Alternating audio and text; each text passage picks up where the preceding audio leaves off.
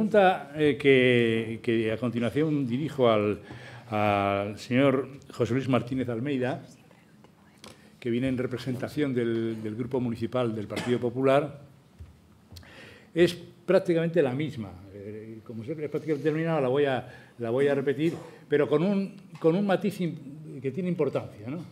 Y es que, mmm, en lugar de insistir o de poner el, el foco en el corto plazo lo ponga en el largo plazo. Es decir, actuaciones, no tanto objetivos, que quizás es lo que echa un poco en falta en la respuesta de, del anterior interviniente, ¿no? Que me pareció, no, pero digo que más que objetivos fundamentales. No, más que objetivos, mi pregunta iba dirigida a las actuaciones.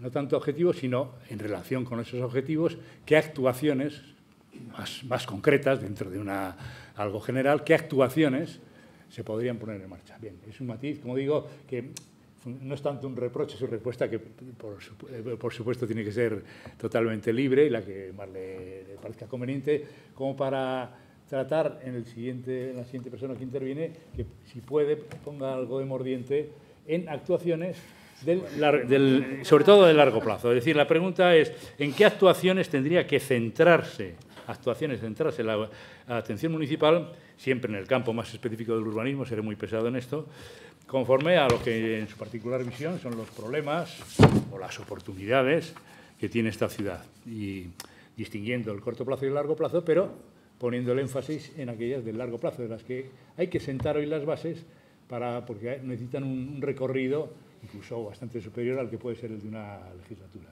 Gracias. Muy bien, muchas gracias. Agradezco al Club de Debates Urbanos que me haya dado la oportunidad de poder estar aquí, de poder acompañaros y poder compartir algunas de las reflexiones del laboratorio liberal que durante los últimos 26 años ha gobernado esta ciudad, que por cierto, pese al diagnóstico de Mercedes, estamos orgullosos de cómo la hemos gobernado, con nuestros aciertos y con nuestros errores, pero también con nuestros aciertos, que creo que también han sido muchos e importantes. Y por eso digo que en ese nosotros eh, somos un laboratorio neoliberal que creo que ha dado éxito en la ciudad de Madrid. Si tenemos que plantear un objetivo a largo plazo, el debate que yo creo que tenemos que tener es, ¿queremos o no queremos un nuevo plan general? Y ese debate lo ha dicho Mercedes, lo ha dicho Bosco, lo estoy diciendo yo, pero no lo ha dicho el delegado de urbanismo. Pero yo creo que es ahí donde tenemos que centrarnos. Es decir, tuvimos el plan del 85, aquí tenemos a su redactor, tuvimos el plan del 97, con independencia de cómo valoremos el plan del 97, yo creo que el plan del 97 obedece a una realidad que ya no es la que existe en estos momentos y, por tanto, ya no se amolda a las necesidades o a lo que debe ser la ciudad en el futuro. Por ello, si a mí me dicen cómo resumes cuál es el objetivo o qué es lo que debe pensar esta ciudad a largo plazo, yo te tengo que responder, ¿queremos un plan general nuevo? ¿Cómo queremos que sea ese plan general? Tenemos que pensarlo entre todos, entre todos los que tenemos responsabilidades públicas, entre todos los ciudadanos, entre todas las asociaciones, entre toda la ciudad en definitiva. Pero creo que ese es el marco en el que nos debemos mover y en el que se debe mover el debate de los objetivos a largo plazo, porque en este momento ese plan del 97 ya no tiene sentido. No tiene sentido, entre otras cosas, porque nosotros mismos ya a lo largo de la legislatura anterior tramitamos un nuevo plan o hicimos estudios para la tramitación de un nuevo plan. Por eso creo que esa es la primera de las cuestiones que nos tenemos que plantear, es decir, ¿qué modelo de ciudad queremos? ¿Qué modelo de ciudad tenemos, mejor dicho? ¿Qué modelo de ciudad queremos? Y para ese modelo de ciudad que queremos, ¿qué plan general podemos hacer? Y ese es el planteamiento que Madrid en estos momentos, y a nuestro juicio, debe hacer de cara al futuro. Salir de una cierta situación de indefinición que en estos momentos tenemos, en que en estos momentos se encuentra, a juicio nuestro por lo menos, el gobierno municipal en el ámbito del urbanismo, porque no sabe si tirar para adelante, para atrás, para la izquierda o para la derecha. Y así, en el corto plazo es muy difícil avanzar, pero es que no nos podemos quedar en el corto plazo, tenemos que acudir al medio y largo plazo. Por eso, esa sería la primera de las cuestiones que hay que plantear, porque todos los demás temas que aquí hemos hablado o que han hablado el resto de portavoces, todos en mayor o menor medida los queremos compartir, ¿no? Porque al final, ¿quién no quiere luchar contra el desempleo? Todos. Unos pensaremos que nuestras ideas contra el desempleo son mejores que las de otros. Nosotros nos aferramos a la estadística que dice que Madrid está seis puntos por debajo de la media nacional en paro. Por eso creemos que nuestras políticas Mercedes son mejores. Pero bueno, tú puedes tener tus ideas. Todos queremos luchar contra la desigualdad, obviamente. Todos queremos que, en la medida de lo posible, Madrid sea una ciudad más igualitaria. Todos queremos ahondar en la regeneración urbana y en la rehabilitación. En eso no tenemos ninguna duda. Son objetivos generales, genéricos, que todos podemos enunciar y en los que todos podemos estar de acuerdo. Pero para eso necesitamos saber qué plan general queremos en el largo plazo, que es la pregunta que se me ha planteado. ¿Y cuál va a ser el contenido de ese plan general? ¿Y hacia dónde queremos dirigir esta ciudad? Es que mientras no tengamos eso, ahora mismo lo único que estamos haciendo es sobrevivir. Es sobrevivir en un plan general en el que no cree ni el grupo que lo aprobó en el 97, porque ya lo ha intentado cambiar y no ha podido, porque se acabó el tiempo, es cierto. No cree, por supuesto, ahora Madrid, que en su programa llevaba directamente un nuevo plan general, elaboración, ni el PSOE ni Ciudadanos, que lo acaba de decir. Y, por tanto, podemos seguir sobreviviendo, podemos seguir haciendo modificaciones puntuales tan criticadas, pueden seguir los tribunales, y, no lo estoy diciendo, no, no, crean que lo estoy diciendo con cierta desfachatez, pero es que la realidad es decir, los tribunales nos están tirando abajo las operaciones que aprobamos nosotros, y yo no lo niego. Pero por eso digo que podemos ir, podemos ir sobreviviendo, podemos ir tirando para adelante en el medio y en el corto plazo, pero si nos tenemos que marcar un objetivo a largo plazo, necesariamente pasa por plantear un nuevo plan general. Y ese es el debate que en esta ciudad yo entiendo que se debe instalar. Mientras no tengamos ese debate, está muy bien la lucha contra la desigualdad, la lucha contra el desempleo, la regeneración, eh, un Madrid más igual. Pero eso se consigue poniendo los medios. Y los medios ahora mismo no los tenemos. Entonces, plantémonos ese debate a largo plazo, si es el objetivo que me pide el moderador que plantee.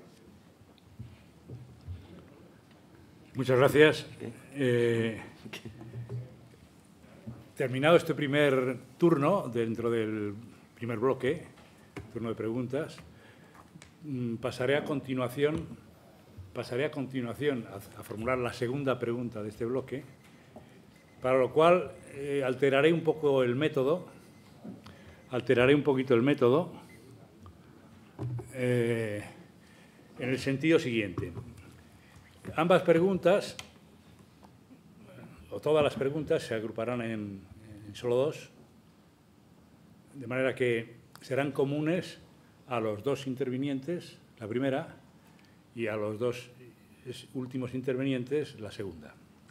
Así que, así pues, esta es la pregunta dirigida, con algún matiz, pero dirigida prácticamente igual a, los dos intervinientes primeros, José Manuel Calvo y Mercedes González, eh, y, que dice, que así.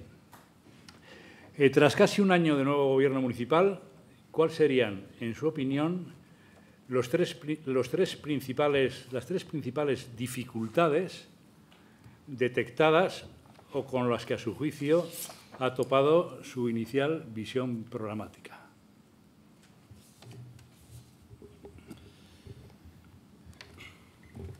Por no dejar de dar una pincelada sobre lo que se ha comentado del plan general, que me parece que ha, que ha sido el tema. Perdón. Sí, sí. En, el, segundo bloque habrá bastante específico del plan general, te lo anticipo, pues, pues si quieres eh, pues decir algo, pero en el segundo bloque hay, hay preguntas expresamente lo dejo pendiente, este Lo dejo pendiente para entonces. Bueno, nos hemos encontrado tres problemas eh, o tres elementos que condicionan yo diría que a veces excesivamente la, labor de gobierno. ¿no? Por un lado, la, propia burocracia de la Administración, la complejidad de los procesos mm, de contratación, por poneros un ejemplo, em, los plazos tan dilatados que supone pues, sacar a licitación un contrato, sacar a licitación un encargo, sacar a licitación una obra, eh, todo ello pues, eh, exige una tramitación y una, cantidad de, de, pasos burocráticos que a veces eh, desde, cuando se está fuera, desde luego, no se, no se concibe, no se concibe, los administrados se quejan y con razón muchas veces de lo excesivo de esos plazos y desde dentro es eh, verdaderamente frustrante cuando te chocas una y otra vez con eh, esa pared burocrática que tiene la propia administración por su propia configuración. ¿no? Luego hay otro elemento que nos ha parecido que hay que repensar y que hay que revisar, que es todo el tema, lo planteaba, lo planteaba Bosco, que es todo el tema de las ordenanzas y de la legislación. ¿no?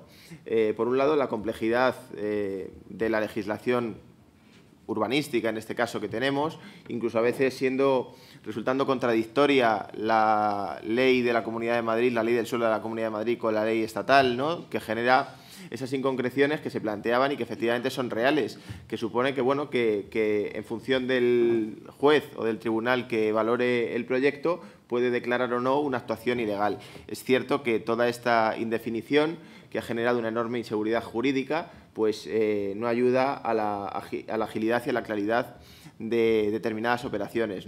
También debo recordar, ya que tengo algo de tiempo, que esta inseguridad jurídica, que muchas veces por parte de nuestros compañeros del Partido Popular se nos pretende imputar, pues ha venido generada por otras razones, ¿eh? pero una razón mm, de mucho peso en esa inseguridad jurídica ha sido la aprobación de la famosa ley de las tres alturas que la señora Esperanza Aguirre em, no sabemos si en un alarde de marxismo-leninismo, aprobó en el año 2007 y que ha sido la, excusa central que han utilizado los tribunales para echar abajo una serie de eh, grandes operaciones. Ahí está Mau Calderón, ahí está la anulación del plan parcial de, la operación Chamartín, ¿no? que también fue anulada atendiendo a esto, a la superación de esas tres alturas en, el ámbito.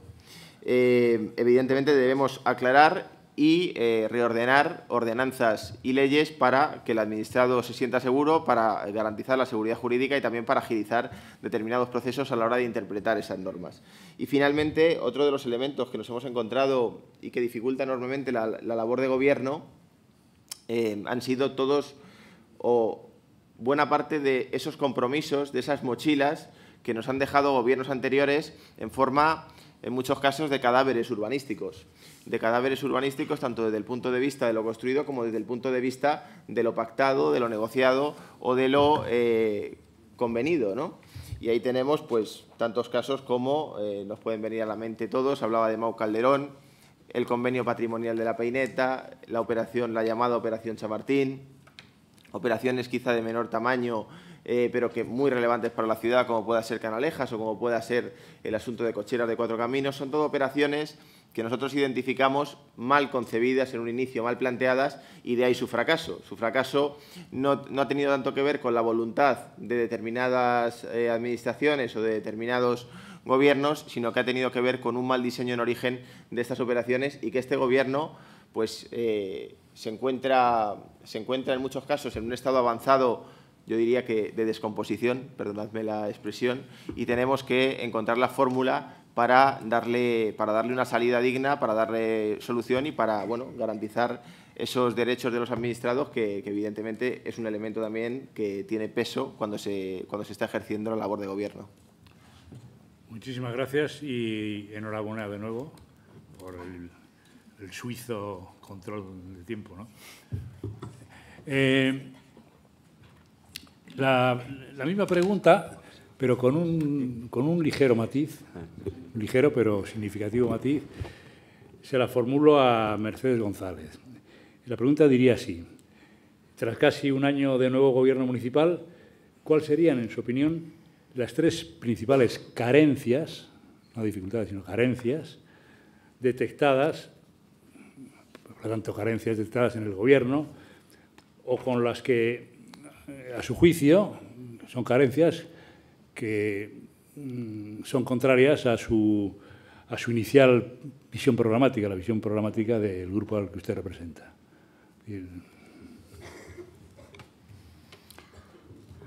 Bueno, eh, a ver, mm, cuando entraron en el gobierno apoyados por el Grupo Municipal Socialista, esta ciudad quería un cambio, era evidente y todos entendimos ese cambio y y por eso votamos lo que votamos. Esta ciudad necesitaba aire y ellos eh, bueno, fueron la voluntad que los ciudadanos tuvieron y nosotros hemos apostado por ello eh, radicalmente.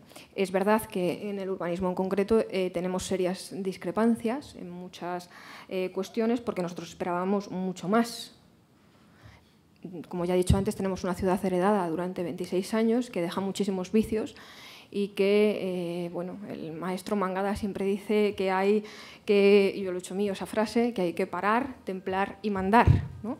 Y eso es lo que necesita esta ciudad y en nuestra visión, bueno, pues no, no lo hemos encontrado. No lo hemos encontrado en muchas de las herencias que, que tenían sobre la mesa y eh, hay un nudo gordiano para nosotros fundamental, que podría ser, recordar, ahora que en esta etapa de mi vida leo tantos cuentos infantiles, eso que el conejo le dice a Alicia en el País de las Maravillas. ¿no? Para elegir el camino primero hay que saber a dónde ir.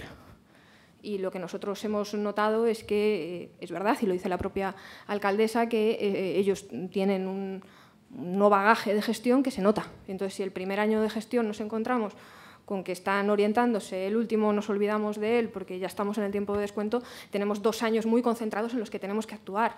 ¿Y en qué tenemos que actuar? En cambiar la cultura urbanística de esta ciudad. ¿Que son 26 años que no se cambian en 10 meses? Sin ningún género de dudas.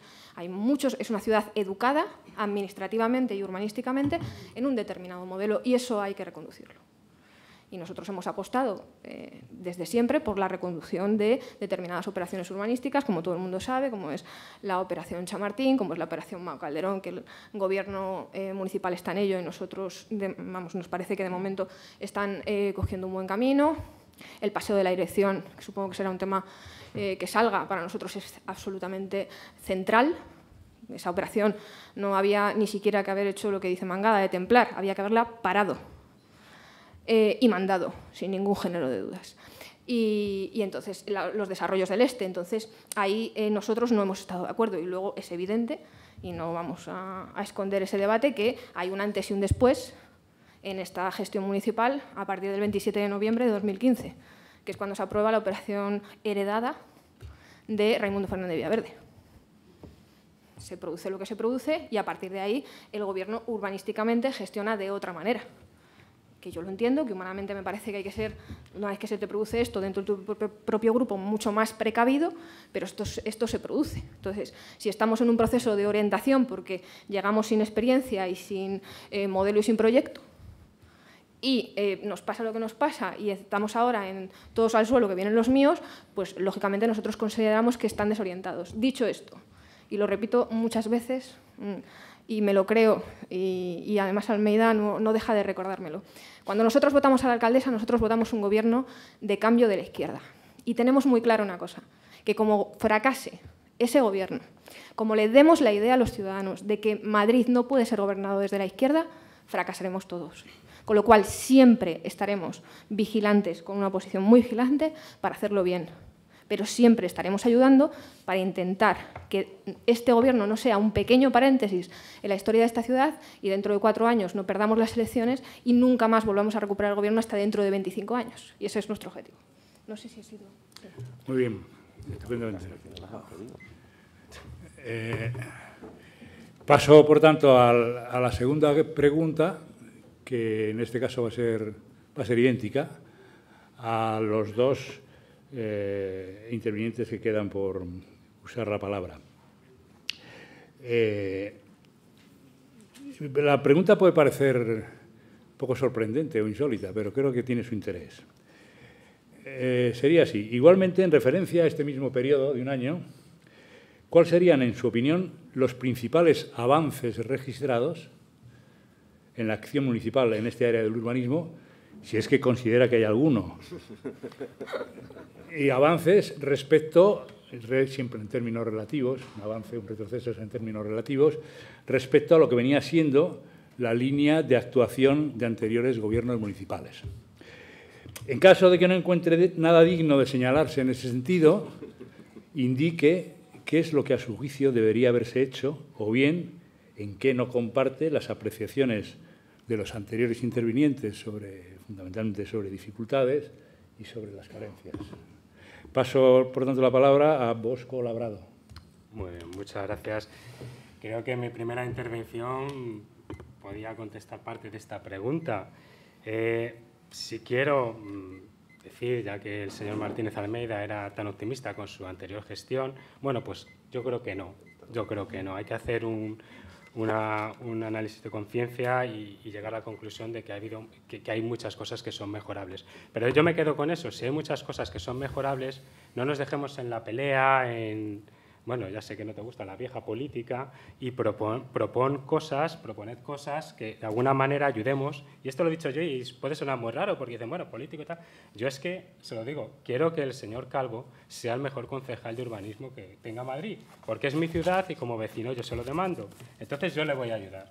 Y le voy a ayudar de la siguiente manera. Cuanto yo veo que usted está aplicando una instrucción que sabe que no se puede aplicar, porque las instrucciones no se pueden aplicar a particulares, aunque exista el señor Martínez Almeida, porque era una práctica que se hacía en el anterior equipo de gobierno, yo lo denunciaré y diré, vayamos, hagamos una ordenanza, una ordenanza en la que todos los grupos políticos participemos en la regulación y en ese tipo de cuestiones es en las que yo ayudaré y seré propositivo con el equipo de gobierno, cosa que, ya insisto, he hecho en falta en el Partido Popular, con todos mis respetos. Pero hablabas antes de un contenido de plan general, no he escuchado ninguna propuesta al hilo, pero ni está en ningún sitio. Es únicamente lo que quiero señalar, no quiero entrar en, ninguna controversia. Sí, sí es verdad que, al hilo de lo, de lo que usted me preguntaba, hemos tenido una mesa de debate de la castellana. Pues esa mesa de debate, como bien señalaron en la última sesión, la propuso Ciudadanos, pero la propuso con un objetivo, y es que de allí saliesen unas propuestas. Nosotros llevásemos un modelo de ciudad y lo llevásemos a un ámbito que estaba por hacer y lo plasmásemos con un instrumento que fuera un plan general de Barcelona, pero bueno, ya no está muy claro que vaya a ser ese instrumento, porque el señor delegado ya ha manifestado anteriormente lo que ha manifestado, y, y era una ocasión única para que todos los madrileños decidiésemos qué queríamos en ese, en, ese ámbito. La mesa hizo un diagnóstico, un diagnóstico que realmente mm, nos podíamos haber ahorrado en seis meses porque los problemas ya los, teníamos, ya los conocíamos todos. Y, simplemente eh, faltó eso, las propuestas.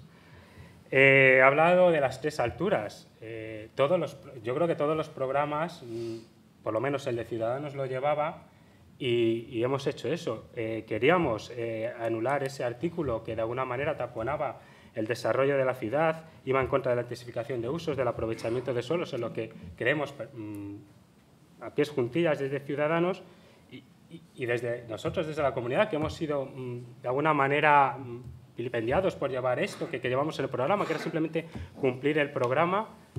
Eh, hemos hecho eso, simplemente facilitar las cosas. Y has hablado del paseo de la dirección, que bueno, que creo que además es más interesante escuchar a los vecinos que tengan algo que decir. Pero bueno, yo solo un apunte. Yo creo que, esta, actuación fue un despropósito, desde su propia concepción, es decir, basarnos en una expropiación cuando el Ayuntamiento de Madrid no tenía ni recursos económicos para llevar a cabo esa expropiación. Luego, todo lo que hemos conocido de, de este tipo de actuación, pues son cosas que dicen poco dice un poco del urbanismo que se ha llevado a cabo en la ciudad de Madrid. Yo por eso, aunque sé que al señor delegado no le gusta, hablo de que hemos pasado de un urbanismo a la carta a un urbanismo de despacho. Y digo esto porque la única actuación que ha salido adelante, que ha sido destaponada, ha sido la operación Canalejas. Y precisamente creo que ha sido en un despacho donde se ha podido facilitar que, que siga adelante esa operación. Sin ninguna duda, sabes que yo voy a estar en apoyarte, en ayudarte y todo lo que quieras, pero las cosas hay que decirlas como son, señor delegado. Y como siempre soy generoso porque al presidir la comisión, y esto aprovecho gracias a Mercedes, hay que ser rigurosos con los tiempos. Muy bien, pues nada, estás, eh, está usted eh, acumulando mucho tiempo de ahorro. Eso, bueno. que hay que ahorrar, hay que ahorrar. Resarcido en su momento, si lo quiere. Mm, vuelvo a formular la pregunta y, y perdonarle, o perdonen la impertinencia. Eh, mm, voy a insistir en que se destaquen, yo esto no lo, por lo menos no lo he percibido, no sé si lo he atendido bien, que se, se destaquen cuáles han sido, a su juicio, los principales avances registrados, si es que ha habido alguno. No sé, yo de, de, la anterior intervención, esto saldrá ahora en el debate que enseguida eh, emprenderemos, no, no me ha quedado claro si hay algún, a su juicio, algún algún avance eh, importante o no. Entonces, le formulo la misma pregunta eh, entera al, señor José Luis Martínez Almeida. En referencia a este periodo, ¿cuáles han sido los principales avances registrados, si es que ha habido alguno, por parte de las acciones del área municipal de urbanismo? Y en caso de que no, pues, eh, ¿qué es lo que no comparte de las carencias o de las dificultades o de los avances que han ido, de alguna manera, han ido también exponiendo a pesar de que yo eh, no les preguntaba tanto a ellos de los avances, pero sí los han, los han expuesto, los han exhibido, pues eh, eh, si hay algo que, está, que no comparte, pues tiene los, tres, los cinco minutos estrictos para responderlo. Muchas gracias. Muchas gracias, muchas gracias otra vez. La verdad es que Bosco es propositivo, pero responder no responde. Porque le han tenido que recordar que tenía que responder, pero bueno, eso sí, propositivo, yo no te he interrumpido, Bosco, propositivo respecto del PP, porque debe pensar que seguimos siendo el equipo de gobierno y entonces nos sigue dando a nosotros. Debe ser complicado porque, claro, Ciudadanos tiene tortículos, mira a izquierda, mira a derecha y trata de ver dónde se puede situar. Bueno, sí, en eso que se llama el centro. Pero bueno, yo sí voy a responder a la pregunta y yo creo que hay dos avances. El primero que me consuela considerablemente lo que acaba de decir el concejal. El concejal ha dicho en su intervención, ¿cuál es una de las principales dificultades de gestión? Que uno se topa con una muralla burocrática. Es decir, no es tan fácil gestionar, por tanto. Lo digo porque muchas veces cuando no se ha gestionado, cuando no se ha gestionado, y esto va también por Ciudadanos o por el PSOE en la Ciudad de Madrid desde hace 25 años, es muy fácil criticar. Nosotros gestionamos. Es muy fácil criticar, porque gestionar es realmente difícil. El proceso de toma de decisiones es muy complejo y luego el proceso de ejecución de esas decisiones también es muy complejo. Y como lo ha dicho el concejal claramente, la maquinaria burocrática es una maquinaria, que por cierto es una garantía también, porque, o debería ser la garantía de legalidad en la actuación de la Administración. Por tanto, tampoco cabe que menoscabemos la burocracia administrativa porque es importante. Pero bueno, el primer avance es que ya se reconoce que gestionar no es tan fácil, lo cual para nosotros es un alivio, no te lo niego, José Manuel. Y el segundo avance para nosotros es que no hay una verdadera política de izquierdas y de eso nos felicitamos. Lo tenemos que reconocer. Nosotros creíamos que esto iba a ser mucho peor. ¿Para qué negarlo? Creíamos de verdad que iba a ser mucho peor, que del laboratorio neoliberal no iban a quedar ni los ladrillos. Y sin embargo, lo cierto es que a lo largo de estos nueve meses, salvo en determinados asuntos, no podemos decir que haya habido o vaya a haber una verdadera política de izquierda tal y como se anunciaba. Yo me leí el programa electoral de Ahora Madrid. Y en el programa electoral, la verdad, es que entiéndanlo, para uno que iba en la lista del Partido Popular, se le ponían los pelos de punta. Y la verdad es que hay una situación de indefinición tal ahora mismo en la acción del Gobierno, que yo creo que no es culpa de José Manuel, te lo digo sinceramente, yo creo que es culpa de ese magma interno que hay en Ahora Madrid, de ese conjunto de facciones de, diversas eh, situaciones de las que venís, de Podemos, de Ganemos, de Izquierda Unida, etcétera, etcétera, etcétera, que hace muy difícil que tú puedas conducir una política uniforme, una política urbanística no ya de izquierda, sino mínimamente uniforme. Y yo creo que tienes ese problema. Pero bueno, para mí respondiendo a la pregunta, pues sí, no hay una política verdaderamente de izquierdas en el Ayuntamiento de Madrid en estos momentos en materia de urbanismo, pero no porque no sea de izquierdas, sino porque yo creo que no hay política. Es decir, ahora mismo estamos en el simple arrastre de todas las operaciones urbanísticas que el Partido Popular dejó en marcha. Algunas se han parado, como la Operación Chamartín, porque esa se ha parado. Yo la Operación Chamartín, mirad, podemos estar de acuerdo o podemos no estar de acuerdo, la verdad. Pero claro, a mí lo que me parece absurdo es hacer una mesa para criticar una operación que el Gobierno ya dice que no va a sacar adelante. No tiene ningún sentido. Si no lo vas a sacar adelante, no me saques una mesa. Para eso hacemos una mesa, pero una mesa en la que nos plantees, desde el equipo de gobierno, cuáles son las propuestas que tienes para el norte de Madrid. A mí me parece más lógico, porque si no, si no, estamos perdiendo el tiempo, porque estamos haciendo, dice José Manuel, cadáveres. Hombre, es que en la operación Chamartín no es que sea un cadáver, es que has hecho la autopsia del cadáver, pero no nos interesa esa autopsia. Nos interesa si va a haber resurrección. Y si esa resurrección, ¿en qué consiste? ¿O en qué queréis que consista? Y ese es el problema que tenemos ahora mismo en Madrid. Y ese es el problema que tenemos ahora mismo en el urbanismo de Madrid. Que tenemos una indefinición total y absoluta. Porque el equipo de gobierno, yo lo pienso, no se aclara entre ellos. El equipo de gobierno y su socio tampoco se aclaran entre ellos. Con Ciudadanos es muy difícil aclararse. Y claro, ¿cuál es lo que queda? Solo nos queda Aguirre. ¿Qué es lo que queda? Al final, al final, ¿qué es lo que queda? ¿Qué le queda, qué le queda al pobre José Manuel? Y lo digo en serio, de verdad. es que, al pobre José Manuel le queda votar con el Partido Popular. Claro, por favor. Yo digo, perdonad, ya voy concluyendo, que ya veo que, que no he tenido demasiado éxito. Digo, ¿qué le queda a José Manuel? Votar con nosotros. Y tampoco quiere, como es lógico. Claro, tampoco quiere, pero no tiene más remedio, porque si no tampoco salen los asuntos. Y ese es el problema de esta ciudad en este momento. Ese es el problema. Por eso digo que el gran avance de este gobierno es que no está haciendo política de urbanismo. Bien. hemos terminado este, este primer bloque.